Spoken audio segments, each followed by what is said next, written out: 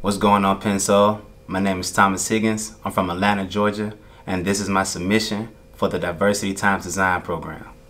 For my Vans Off the Wall sketch, uh, I'm gonna show my age a little bit. So with this shoe, I wanted to go back to Back to the Future.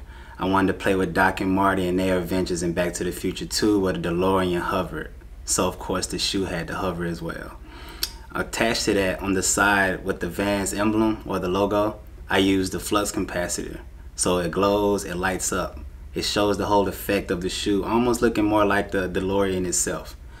And then on top of that, it's a skateboarder shoe. So this shoe was made by a skateboarder. It's tied up with shoestrings, it's dirty, it's being used, but it doesn't matter because it's being used for the right cause. This shoe is for everybody. It's in the future, it moves fast, and that's why it's off the wall. So we have reached the end of my presentation. I really hope you enjoyed the pieces I presented today. Uh, this was a great, great challenge for me, and it gave me the opportunity to step outside my boundaries, and I appreciate that. Thank you. I would honestly love to be a part of the Pensole team. I feel like I have a lot to give creatively, and I also know I have a lot, a lot to learn. I know I do. Thank you so much. Again, my name is Thomas Higgins.